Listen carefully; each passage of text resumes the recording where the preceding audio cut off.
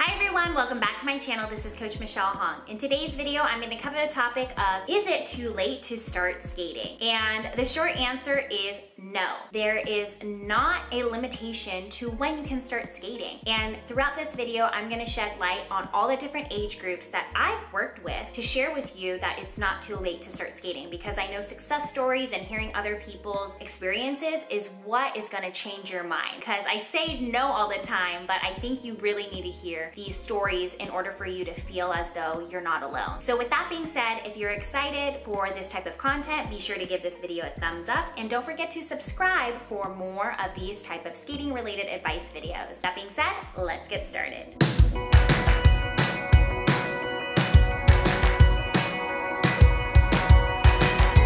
So my first example is the 12 year old range. So there are people who are interested in learning how to skate or putting their child in skating, but they think the age of 12 is too late to start. And some people, as I've seen in my comments on my Instagram, think that is so bogus that 12 years old is looked down as an older age. And it's the reality of the sport, honestly. If you think about it, everything that you see on TV, a majority of what you see on the Olympics are prepubescent bodies and people who are very young who are the ones that are excelling. 12 year olds, 13 year olds, 14 year olds doing triple axel quads. And another thing is that there is a limitation in our sport to achieve a specific level with an age limitation. So let me review the eight different levels that are in the US figure skating system. Starts out with pre-preliminary, preliminary, pre-juvenile, juvenile, intermediate, novice, junior, and senior. And so at the juvenile level, you cannot compete past the age of 13 years old. So in order to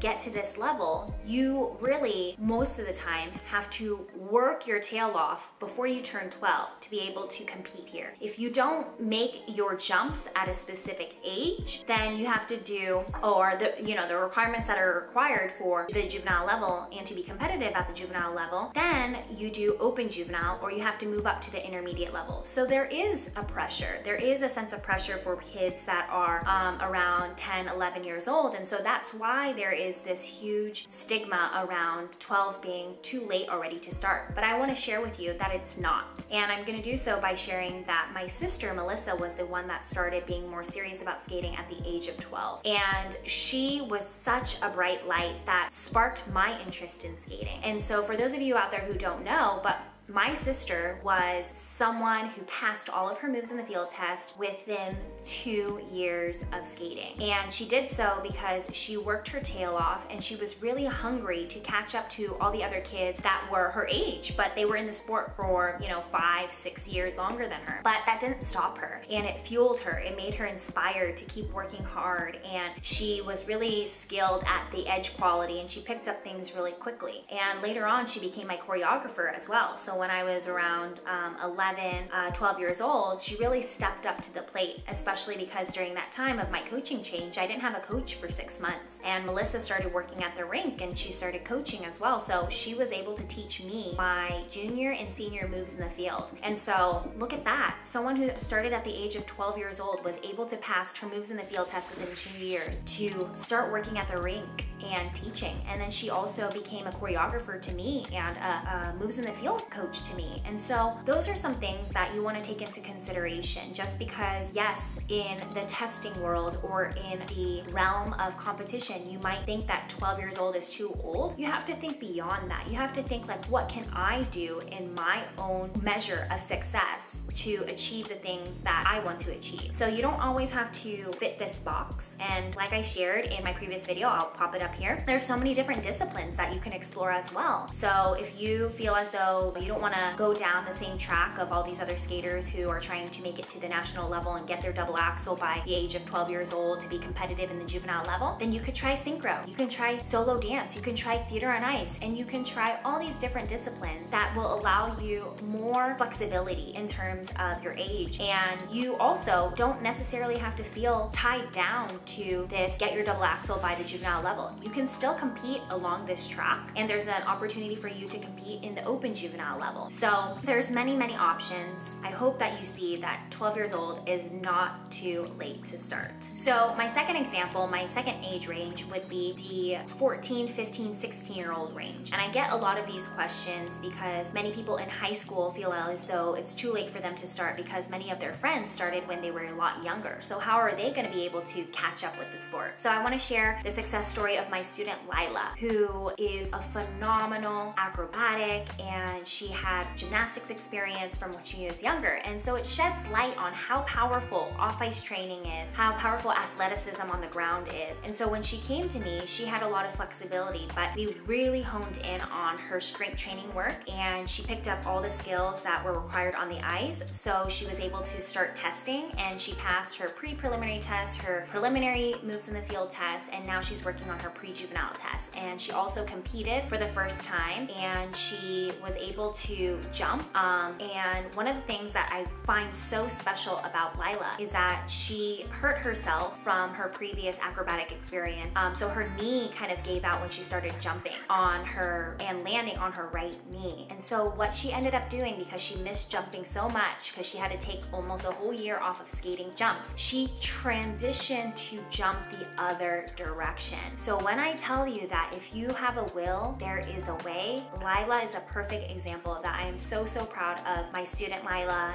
and she has such gorgeous lines as well. And the fact that she took it upon herself to re-strategize. I didn't shed this example or share this example with her. She wanted to. She approached me about it. She said, I want to try jumping the other way. And I said, let's do it. Let's do it. You have the coordination. You have the capabilities. You have the mindset. Let's do it. And she started learning. So she got her waltz jump. She got her Salchow. She got her toe loop. She got her loop jump the other way. She's working on her flip and her lutz the other way. So for those of you out there who are discouraged because 15, 16, 17 years old seems like it's too late, please re-evaluate that because she is doing camels, back camels, I spins, Biellmanns, and I am so, so proud of her. So that's why I highly encourage you to work on off-ice skills. So I'm gonna pop all my off-ice skating videos above because learning that foundational aspect of the sport is so helpful to your success. So whether you do not have access to a rink right now, maybe you can start thinking about, okay, so I'm gonna plan, I'm gonna train hard off the ice, and then maybe when I'm older, I can move to a location that is more closely connected to an ice rink,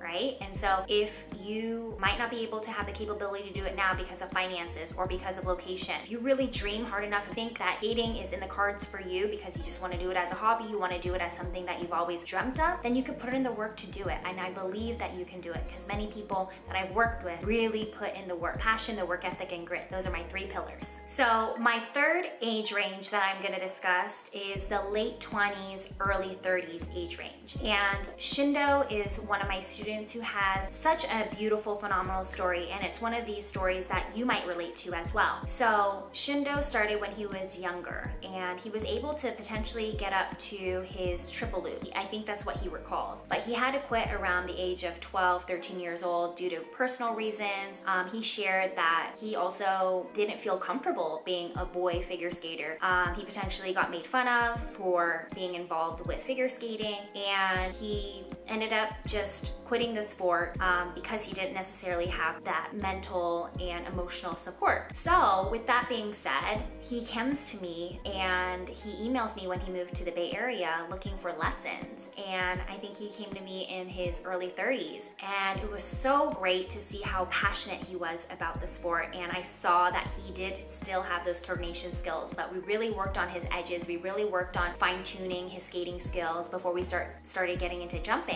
And then once he started getting into jumping, he was able to do his axel, his double saddle, his double toe, his double loop, his double flip, his double lutz. It took him time to get all these jumps. And then we started doing testing and he practices after work whenever he gets a chance. He has a full-time job. And so for those of you who are out there who are like, you know, I have a job, I, you know, I have a full life, I started when I was younger, but I really want to do it do it. Here's your chance. You can do it and I believe in you. The next example I want to share is people in your, you know, your early 30s to your 40s. And so for those of you out there who have always dreamt of competing and never thought that you would ever have a chance because you're older, I want to share about my student Mikey who competed at the international level. He competed in Oberstdorf, Germany, and he was able to win all these international competitions. He uses his artistry. People know him as the ribbon skater because he lights a fire every time he's on the ice and he knows how to win a crowd over. So it is so great that he's able to combine his passion for artistry, rhythmic gymnastics, and his love for entertainment on the ice. And Mikey is such a great advocate for adult figure skaters to really put themselves out there, shine in a performance way, and I love the fact that he is willing and open to answer questions in regards to adult figure skating. And he's also really willing and open to uh, share any advice that he has for people who are interested in the sport. So I'm gonna also pop in the link of how you can connect with Mikey as well because he teaches Zumba classes and all that stuff and he's just an energetic soul. So I am so, so grateful that I got a chance to work with Mikey because he really instilled a fire in me to really get more adult figure skaters involved with competition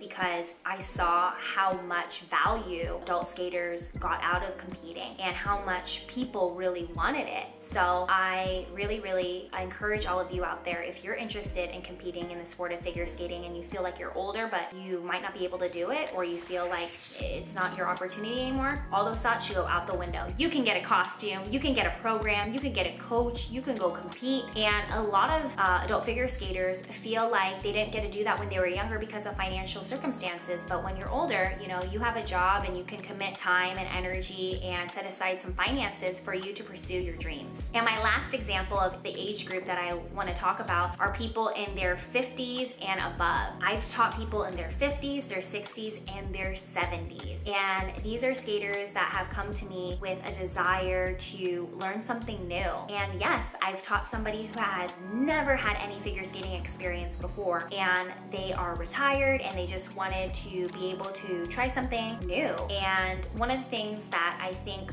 people who are older fear is getting hurt. So the biggest thing that I highly encourage are helmet, elbow pads, butt pads, knee pads, and not only this, accompanying your skating training with off-ice training. So for those of you who have seen my Skate with Michelle series and my Stretch with Michelle series, I'll pop the links up above. Those are excellent places to start incorporating these off-ice training skills to build your body as an athlete and to support yourself on the ice. This goes for people who are starting at age five and people who are skating all the way up into their 60s, 70s, and 80s. So age is but a number. And I say this because I've seen it in other sports. I've seen it in other arenas. I see yogis that start when they're older. I've seen 60 and 70 year old grandmas being able to run half marathons faster than me. And I know that if you put your heart, soul, dedication, and you have the proper training and you have the proper coach and you have the proper support and you have the proper off-ice training, passion, work ethic, and grit, you can do it. You can